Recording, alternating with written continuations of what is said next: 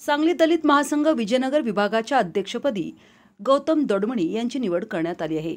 दलित महासंघाचे संस्थापक अध्यक्ष उत्तम दादा मोहिते आणि प्रदेशाध्यक्ष टिपू पटवेगार तसेच राज्य संपर्क प्रमुख वनिताताई कांबळे यांच्या हस्ते निवडीचे पत्र देऊन भावी वाटचाली शुभेच्छा देण्यात आल्या.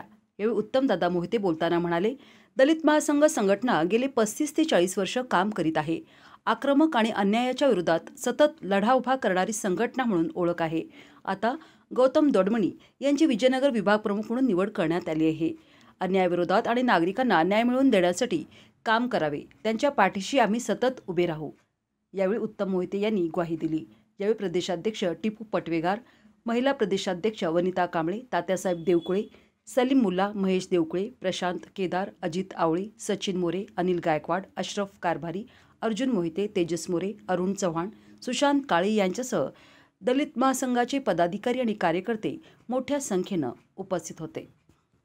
दलित महासंघ या संघटनेला आज या प्रवाहात पस्तीस ते चाळीस वर्ष पूर्ण झाल्या या प्रवाहात अखंडपणे काम करणारी आक्रमक लढाव आणि अन्यायाच्या विरोधात निराजकीय संघटन म्हणून काम करणाऱ्या दलित महासंघाची अशी ओळख आहे. या दलित महासंघाच्या विजयनगर विभाग अध्यक्षपदी गौतम कांबळे यांच्या आज गौतम दोडमणे यांची निवड करण्यात आली.